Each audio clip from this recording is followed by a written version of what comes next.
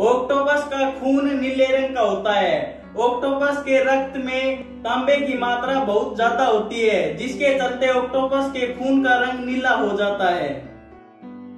आपने गिरगिटों को तो देखा ही होगा, जो कि छिपकली की तरह दिखाई देते हैं। लेकिन यह कुछ खास तरह का गिरगिट है, जिसका नाम है न्यू गिनिया इस गिरगिट के खून का रंग हरा होता है। हरे खून की वजह से ही इसकी मांसपेशियाँ और जीभ भी हरी होती है। सी क्यूम्बर कहा जाने वाला यह जीव देखने में भले ही हरा लगे, लेकिन इसके खून का रंग पीला होता है। लेकिन वैज्ञानिकों को अब तक यह समझ नहीं पाए हैं कि इसके खून का रंग पीला क्यों होता है। पीनट वारम कहे जाने वाले इस कीड़े के खून का रंग बैंगनी होता है। इसके शरीर में हिमोरिथ्रिन नामक प्रोटीन का जब ऑक्सीकरण होता है तो उसका रंग बैंगनी हो जाता है। लेकिन इसमें फैक्ट यह है कि इसके खून का रंग कभी कभार गुलाबी भी हो जाता है।